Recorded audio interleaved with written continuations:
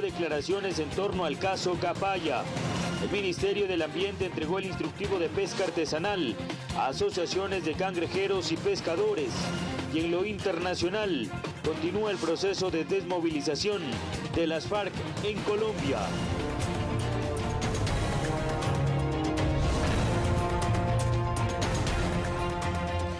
Lunes 6 de febrero del 2017, bienvenidas y bienvenidos a la emisión central de Noticiero Ciudadano. Listos con los temas que hacen noticia en el Ecuador y el mundo. El candidato a la presidencia, Lenín Moreno, dio declaraciones a propósito de las entrevistas que han circulado en redes de Carlos Pareja Yanuseli.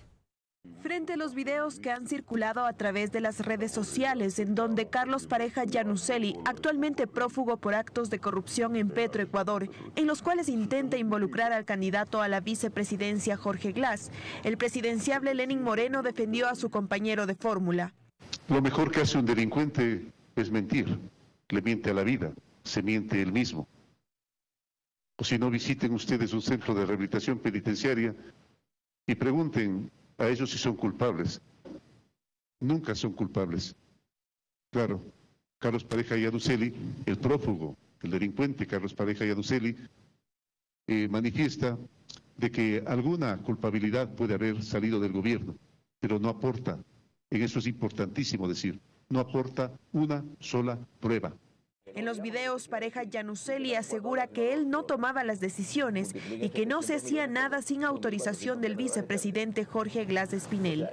Ante la pregunta de si existía alguna culpabilidad por parte de mi compañero, estimado y binomio, el ingeniero Jorge Glass, pareja Yanuseli dice que no, que no puede aportar absolutamente ninguna prueba al respecto, que no puede aportar ninguna prueba al respecto. Y cuando se le pregunta si es que el ingeniero Jorge Glass conocía de lo que se negociaba el petróleo, de las contrataciones que se hacían de la refinería, etcétera, etcétera, él decía que sí, claro que él conocía, pero qué casualidad, que él tomaba las decisiones, qué casualidad. A un vicepresidente, a un ministro, esa es la tarea, tomar decisiones. Y el ingeniero Jorge Glass tomó decisiones el momento en que se construyó eh, se reconstruyó la refinería, repotenció la refinería, el momento en que se construyó las hidroeléctricas, el momento en que se construyó los proyectos multipropósitos y muchas otras obras de beneficio para la patria. Claro que él tomó las decisiones, no faltaba más, esa era su obligación y esa era su tarea. Este tema fue destacado por el presidente de la República, Rafael Correa, en el enlace ciudadano número 511 y mencionó a Diario Expreso, medio de comunicación que pese a haber entrevistado al prófugo, tomó distancia y no publicó la información de la misma por falta de pruebas y de argumentos. Carolina Díaz, Noticiero Ciudadano. De igual forma, durante el enlace Ciudadano 511 realizado desde el sur de Quito, el presidente de la República, Rafael Correa, se refirió al caso de corrupción Capaya. Reveló correos en los cuales el principal implicado suplica clemencia. Para no saber lo que eso significa. Entonces, ¿qué le contesto yo? Y por eso se vende a los Isaías de este tipo. Porque si hubiéramos negociado la inocencia de su hijo, él tal vez se hubiera entregado. Lo quisieron dejar en libertad al hijo. Acuérdense el fiscal Iván Lombo, por eso se lo destituyó. Quisieron dejar en la impunidad a su familia y su familia está metida en esto. Su otra hermana en Estados Unidos recibió medio millón de dólares. ¿Quién recibe medio millón de dólares y no pregunta dónde viene la plata? Entonces yo le contesto, 11 de diciembre, ¿de qué hablas? Porque me acusa de perseguir a su familia. Todo lo que ha sucedido es culpa tuya. Y yo no puedo controlar que ahora todo el mundo quiera aparecer como Adalí de la justicia que se haya desatado una cacería de brujas, porque por este corrupto nos dieron corrupto a todos, acuérdense, y que probablemente se esté involucrando a gente inocente. No creo que tu hijo sea inocente. Esa es mi frontalidad, compañero. Ha recibido centenas de miles de dólares. Nos has hecho quedar como corruptos a todos. Lo único que puedes hacer es regresar y decir la verdad. Entonces te creeré. Todo lo que pase será tu responsabilidad. Y por favor, ya no argumentes lo de Colombia, la refinería, o que hiciste bien tu trabajo para justificar tu deshonestidad y traición. Eso es lo que le contesta el presidente. Ya tenemos presidente, tenemos a Rafael, ya tenemos presidente. Hemos actuado con la rectitud y frontalidad que nos caracteriza Y todo esto es un show montado por la prensa corrupta, por los Isaías y por Creo y particularmente Andrés Pérez. Por Dios olvidar. Y vienen otros episodios. Les anticipo. Anótenlo, manden tu idea al respecto y estar preparados, compañeros. Y no dejar de impresionar. Que no nos quiten nuestra fe, que no nos desconcentren, para con toda decisión, alegría y esperanza, el 19 de febrero, reafirmar esta revolución que no la parará nada ni nadie. En el mismo enlace, el primer mandatario destacó lo fructífera que fue su gira por Italia y España, pese a que hubo infiltrados en los eventos de masiva concurrencia de migrantes. Y enseguida lo filmaba alguien más para, para que si se lo sacaba, entonces eso viralizaban en las redes. Siempre le fracasó. La misma gente los hacía callar. Por ahí rodó un video que lo va a pasar, creo, ¿no? Al final, de una señora en Milán, que resulta que era la candidata asambleísta por lista 6 y saca a la prensa que por hacer una pregunta empezó a gritar, la misma gente le hizo callar y después la tuvo que retirar la policía italiana. La gente eterno que ven en la seguridad italiana, qué vergüenza para el país. ¿Se imaginan cómo hacen quedar mal el país? Por tratar de ganar unos cuantos votitos. A esa gente, ni medio voto partido por la mitad, compañero. Tanta mediocridad, tanta mala fe sin respetar a su propio país. No respetan a su presidente, bueno, no se les puede enseñar educación, pero que no respeten a su propia patria. Y todo le fracasó, porque eran mil contra uno, pues era uno y mil, que lo hacían callar. Entonces, ni siquiera se les escuchaba lo que decían. Pues ahí estaban filmando para ver si había un incidente. ¿Cómo se quedaron con los churros hechos, no? Algo impresionante, ¿no? La alegría popular, el cariño de nuestros migrantes, cómo nos quieren nuestros migrantes. Y a mí cada vez que, que me reúno con ellos se me queda un pedazo de corazón con ellos, ¿no? Y como les decía en alguna intervención, de los muchos títulos que nos han puesto, Gobierno de Revolución Ciudadana, Jaguar Latinoamericana, Milagro Ecuatoriano, el título que más me gusta es el gobierno de los migrantes, porque cuánto le debíamos a los migrantes. Y si pudimos hacer algo para compensar esa deuda histórica, todo valió la pena. El Consejo Nacional Electoral desarrolló el tercer simulacro nacional en el cual puso en funcionamiento el 100% de recintos para las elecciones generales de este 19 de febrero. En presencia de observadores internacionales, delegados de las organizaciones políticas y representantes de los medios de comunicación, se llevó a cabo el tercer simulacro electoral, donde se puso a prueba el aparataje técnico, logístico, operativo e informático que será utilizado en los comicios del próximo 19 de febrero. Durante este proceso que se desarrolló con éxito, el titular del organismo electoral, Juan Pablo Pozo, mencionó que los simulacros sirven para transparentar todas las fases de escrutinio. Aspectos fundamentales que veremos en la jornada de hoy. El primero es la capacidad técnica y operativa de cada componente del proceso electoral. El segundo, la importancia en la preparación y el compromiso de nuestros servidores electorales para que los próximos comicios sean el reflejo de una institución que decidió de forma clara y con mucha voluntad política el mejoramiento de sus prácticas electorales. En este simulacro se puso en funcionamiento el 100% de recintos electorales ubicados en las 24 provincias del país y en las oficinas consulares de Madrid, Nueva York y Caracas, donde se receptan los votos de los ecuatorianos residentes en el exterior.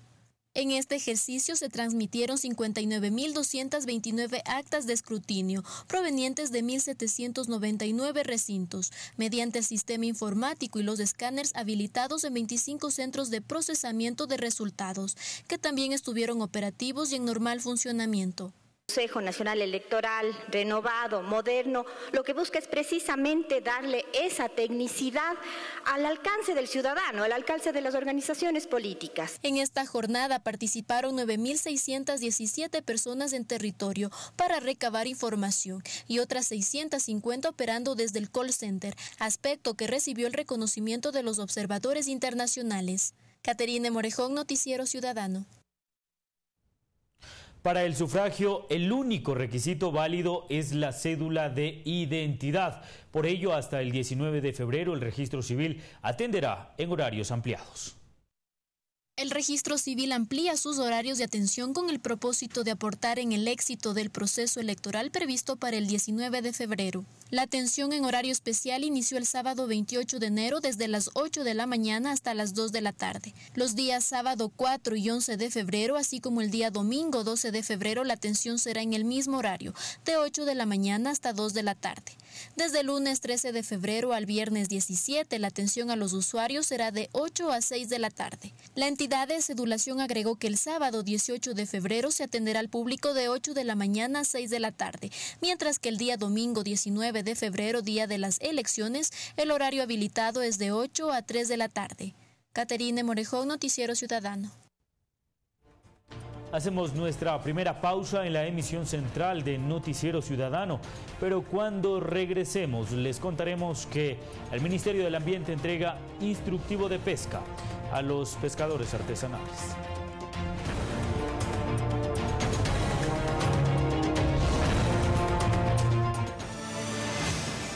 Inicio de espacio promocional.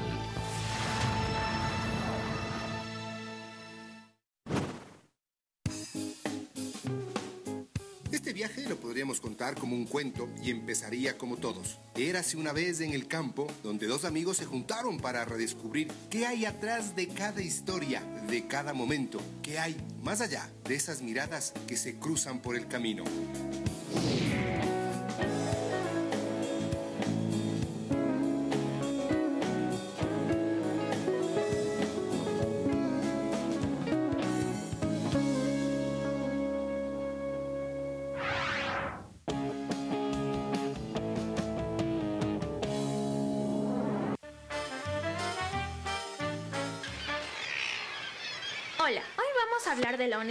Y para darte un ejemplo te voy a contar la historia de Monseñor Leonidas Proaño. Monseñor Leonidas Proaño se encontraba en la provincia de Chimborazo y vio cómo maltrataban a los indígenas de la región, haciéndolos cumplir con trabajos muy duros y quitándoles sus tierras injustamente. Él recordó que sus padres le habían enseñado siempre a respetar y amar a todos sin importar si son ricos o pobres. Así que decidió hacer todo para ayudar y empezó a sacar a la luz la verdad sobre cómo vivían los indígenas. Muchas personas quisieron defenderse, diciendo que Monseñor estaba mintiendo, pero él siempre se mantuvo firme a la verdad haciendo lo que era correcto. Desde ese momento, Monseñor Leonidas Proaño fue conocido como el obispo de los indígenas y es reconocido por ser un hombre honesto y justo con todas las personas. Tú también puedes ser honesto, diciendo siempre la verdad.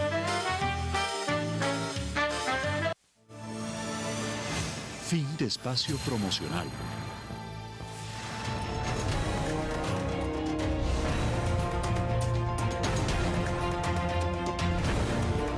Gracias por continuar con nosotros. Les recordamos que este informativo se retransmite en vivo a través de www.elciudadano.gov.es y por supuesto en nuestras redes sociales. Tener una casa propia en el país ahora es una posibilidad. Un ejemplo son los créditos entregados por la banca pública. En seis años el BIES financió la construcción por más de 6 millones de dólares. Desde octubre de 2010 hasta diciembre de 2016, el BIES ha entregado aproximadamente 150 mil préstamos hipotecarios por un monto de 6.627 millones de dólares. Este es el caso del joven Andrés Sevillano, quien destaca la agilidad del banco para solicitar un crédito para la adquisición de su vivienda. Como todo joven tiene sus ilusiones, quise planteármelas desde mi corta edad un departamento. Con esfuerzo en mi trabajo comencé a plantear poco a poco eso, tratando de cumplir los primeros requisitos que son las 36 aportaciones para los préstamos. El BIES yo pienso que verdaderamente eh, nos brinda la oportunidad a la gente joven, como nosotros joven y emprendedores, a realizar nuestros sueños a tan corta edad, ¿no? De acuerdo al gerente del BIES, en 2015 los afiliados recibieron préstamos hipotecarios por 1.249 millones de dólares, lo cual equivale al 93% de recursos entregados. La última encuesta de condiciones de vida del Instituto Nacional de Estadísticas y Censos INEC de 2014 determinó que el 65,3% de las personas habitan en una vivienda propia. Nos, ayudaron eh, y realmente fue en un tiempo inesperado. Me imaginé que se iba a demorar más, pero fue muy rápido el asunto. El objetivo es seguir brindando alternativas para todos quienes quieren adquirir vivienda propia. Para ello, la banca pública ha desarrollado una serie de herramientas. Caterina Morejón, Noticiero Ciudadano. En otro ámbito, 17 asociaciones de cangrejeros de Churute se benefician con el instructivo de pesca artesanal entregado por el Ministerio del Ambiente.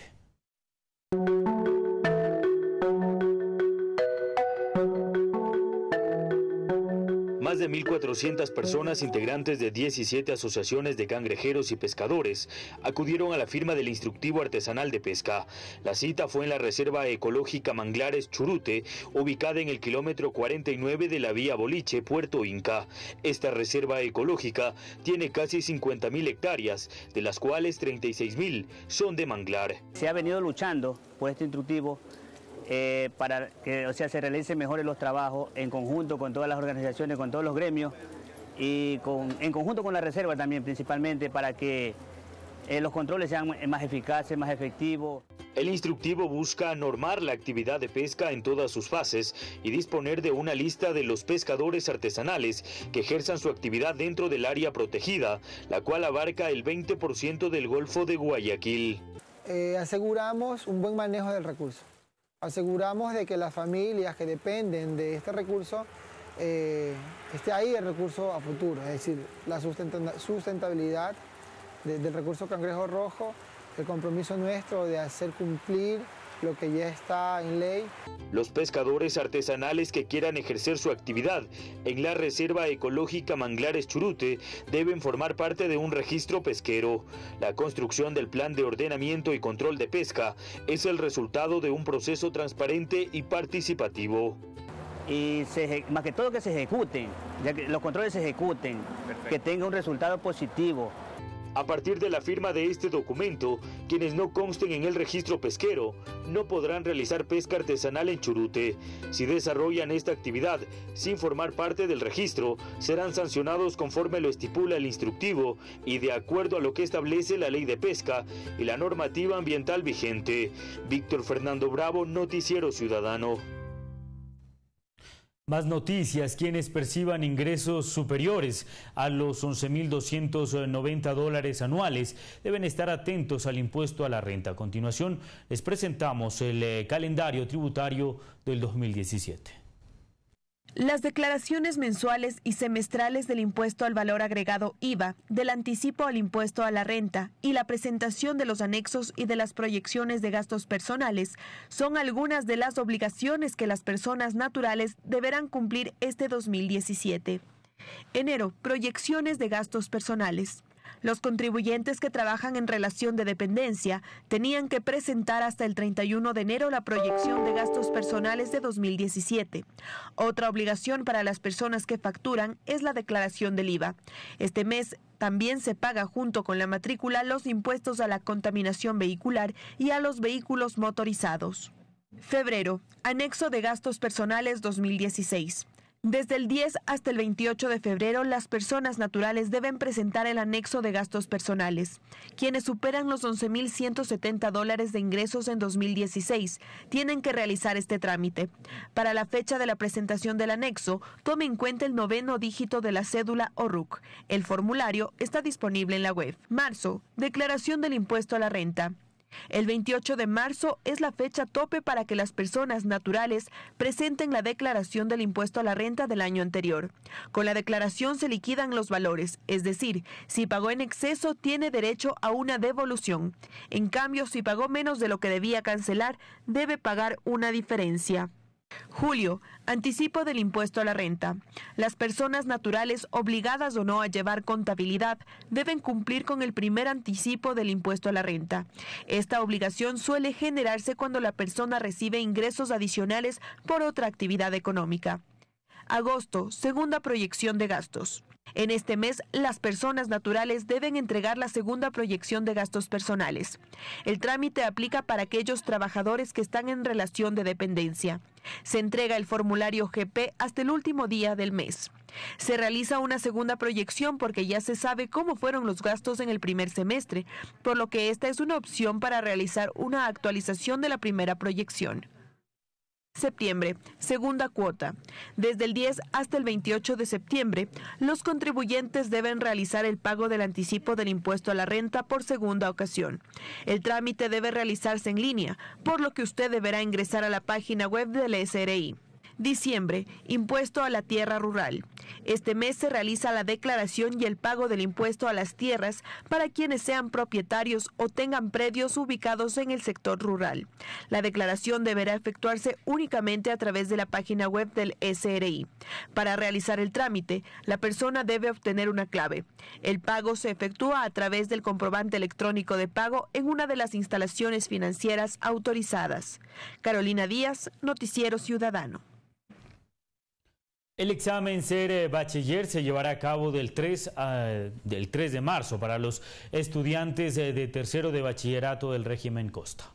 Los estudiantes de tercer año de bachillerato y quienes aspiren a un cupo en una universidad pública del Ecuador deberán rendir el examen Ser Bachiller del 3 al 5 de marzo. La evaluación fue elaborada por el Instituto Nacional de Evaluación Educativa INEVAL y tiene como objetivo medir el nivel de conocimientos de los estudiantes. Van a rendir esta prueba que, insisto, tiene 155 ítems que se van a calificar y cinco a prueba que se llaman pilotos que no dan ninguna nota, pero que como históricamente participan para ir renovando los bancos. En total vamos a tener más de 4.000 ítems diferentes. Todos los alumnos o no alumnos que estén rindiendo la prueba van a tener un eh, conjunto de preguntas diferentes al interior de cada aula, es decir, que las pruebas van a ser elegidas de manera aleatoria, tanto las preguntas como las respuestas, manteniendo obviamente la comparabilidad de la estructura, pero van a ser diferentes en cada uno de los estudiantes o no estudiantes que estén dentro del aula rindiendo la prueba. Para esta ocasión, el examen Ser Bachiller incluirá la medición de aptitudes en los estudiantes, pues esta prueba ha sido unificada con el examen nacional para la educación superior ENES, que evalúa destrezas académicas que son necesarias para el éxito de los estudiantes. Va a haber cinco áreas, pero va a haber dos notas diferenciadas. La primera, que es la nota que sustituye al examen de grado, que es ese examen de grado estandarizado, tomará en cuenta los cuatro dominios de los estándares educativos. Matemática, lengua, ciencias naturales y estudios sociales. Y la segunda nota contará todas las preguntas que están relacionadas con los razonamientos y las aptitudes que van a estar evaluadas en las 155 preguntas. Para eso entonces se darán dos puntajes, la nota del examen de grado, que es la que se instala como el 30% de la nota de graduación del bachiller, y luego el puntaje total, que ese sí sirve para ir y postular a la educación superior. Como ustedes ya saben y ya han declarado tanto el ministro de Educación como el secretario de Cenecit, este puntaje es el que sirve para ir a la educación superior y es con el que todos los cupos de todo el sistema educativo superior público va a asignar los cupos. Previo a la rendición del examen, los estudiantes de tercero de bachillerato dispondrán del 20 al 24 de febrero para su preparación, la cual estará a cargo de los docentes de las instituciones educativas. Carolina Díaz, Noticiero Ciudadano. Nueva pausa en la emisión central de Noticiero Ciudadano, pero cuando regresemos revisaremos qué es lo que está pasando en el mundo. Con esto volvemos.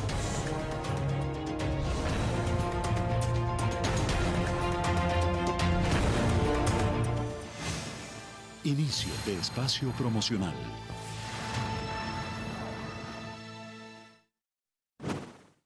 ¿Cómo crees que debería ser la labor de los medios de comunicación? Los medios de comunicación deberían dar programación más informativa a las personas que destructiva.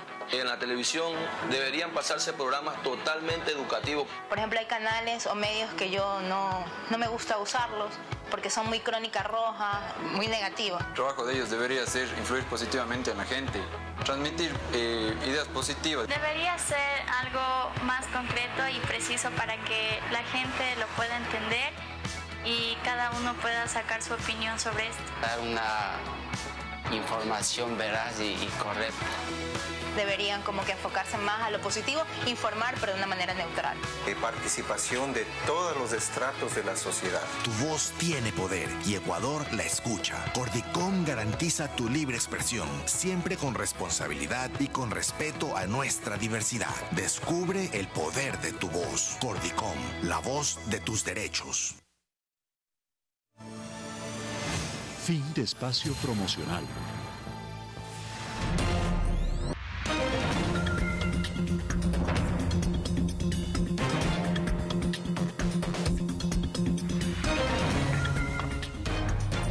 Bien, tras la suspensión temporal del veto migratorio propuesto por el presidente Donald Trump, miles de personas eh, procedentes de los siete países afectados retornaron a Estados Unidos. Muchos inmigrantes de los países afectados por el veto migratorio se apresuran este lunes a viajar a Estados Unidos, aprovechando que la suspensión temporal del decreto devuelve la validez a la mayoría de los 60.000 visados revocados por las autoridades migratorias hace nueve días.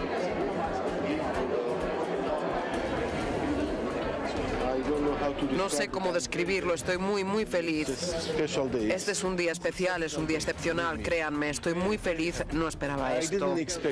Decía su llegada a un ciudadano iraquí, esta mujer norteamericana, pero de origen sudanés, vuelve de una visita a la Meca en Arabia Saudí y asegura que estaba preocupada. Pero mi marido me tenía al corriente de todo, dice. Y me lo resolvieron. Gracias chicos, sé que habéis hecho un buen trabajo. La prensa, la televisión, los medios habéis hecho realmente un buen trabajo.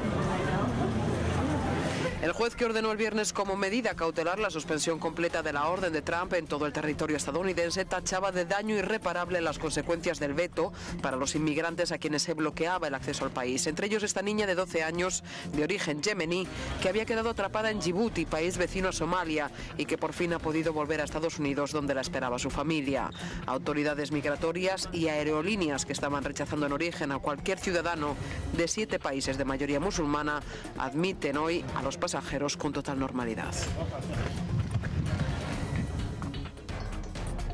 Un grave accidente entre un camión y un autobús en Honduras deja más de 20 víctimas mortales y decenas de heridos. Al menos 23 personas han muerto y unas 39 han resultado heridas, algunas de gravedad, en un accidente entre un autobús y un camión en Honduras.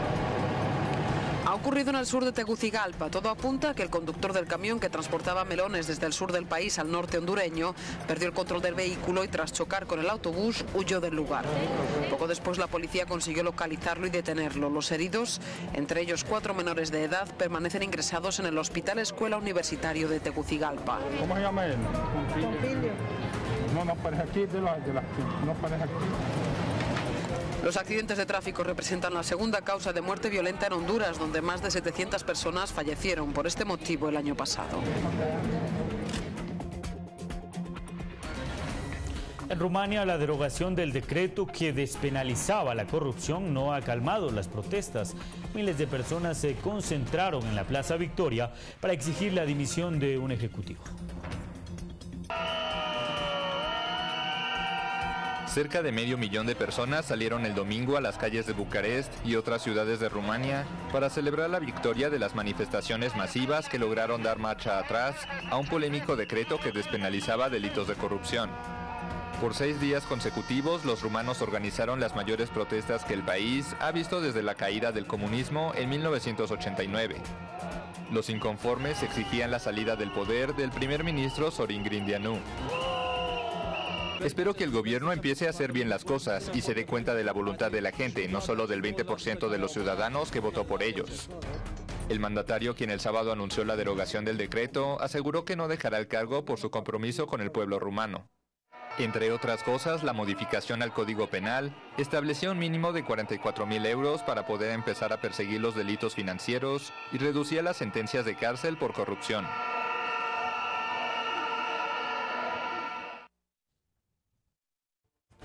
Aquí finalizamos. Gracias por su sintonía conmigo mañana a las 13. Buenas tardes y buen provecho.